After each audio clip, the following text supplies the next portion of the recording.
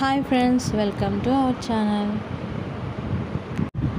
ఈరోజు మనం వేడి వేడిగా హెల్తీగా అలాగే తక్కువ నూనెతో ఎలా అరటికాయ బజ్జీలు చేసుకోవాలో చూద్దామండి నేను పిండి కలిపేటప్పుడు వీడియో తీయడం మర్చిపోయాను అనమాట సడన్గా రేకుపై మనం బజ్జీలు వేసుకునేటప్పుడు గుర్తొచ్చింది అరే ఇలా చేస్తున్నాం కదా ఈ వీడియో చేసి చూపిస్తే చాలామందికి గట్టిగా బజ్జీలు ఇలా వేసినా కూడా బాగా వస్తాయని తెలుస్తుంది అని చెప్పేసి నేను వీడియో సగం నుంచి వీడియో తీయడం జరిగిందండి ఏమనుకోవద్దు.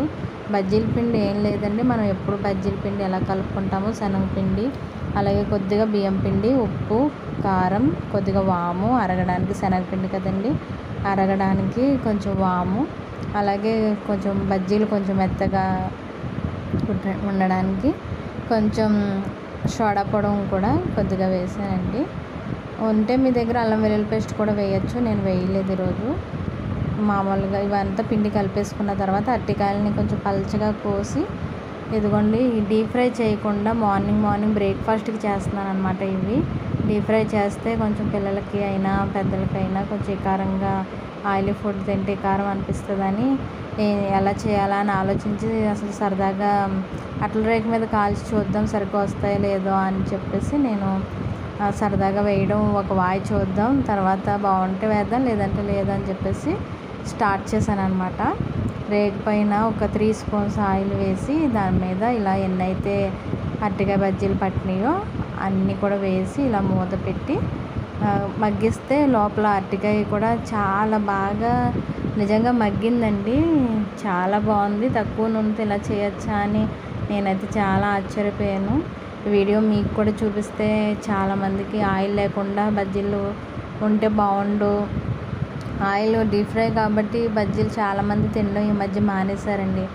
అది తేనుపులు రావడం కానీ లేదంటే గ్యాస్ట్రిక్ ప్రాబ్లం వచ్చి చాలామంది డీప్ ఫ్రై అని మానేస్తున్నారు. అంటే ఆయిల్లో పదే పదే డీప్ ఫ్రై చేయకూడదు ఆయిల్ అని అంటున్నారు కదండి ఈ మధ్య. చూడండి సింపుల్గా చేతితో కూడా తీసేసాను అనమాట నేను. అంత సింపుల్గా వచ్చేసినాయి.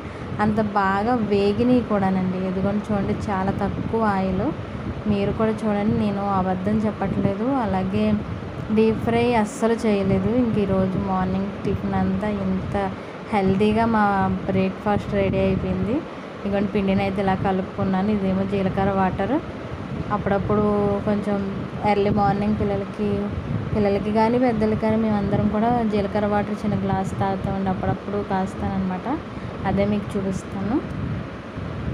అలా టూ స్పూన్స్ ఆయిల్ అంతా రేకు పైన వేసి మనకి ఎన్ని బజ్జీలు అయితే పడుతున్నాయో అన్ని బజ్జీలు ఆ, ఆ పాన్ ఆ పాన్పై వేసేసి కొద్దిగా మూత పెట్టేస్తే చాలా చక్కగా అరటికాయ అన్ని అరటికాయ ఉడికిపోయింది. అలాగే బజ్జీ కూడా బాగా ఉడికిందండి. క్రిస్పీగా కూడా ఉంది. మనం డీప్ ఫ్రై చేస్తేనే క్రిస్పీ వస్తుందేమో అన్న ఫీలింగ్ ఉండేది.